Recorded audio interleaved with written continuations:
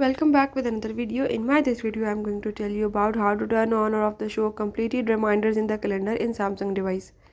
So in Samsung phone if you want to turn on or off the show completed reminders in the calendar I will tell you how you can do it. Watch complete video follow all the steps and if you are new to my channel don't forget to subscribe. Let's watch the video.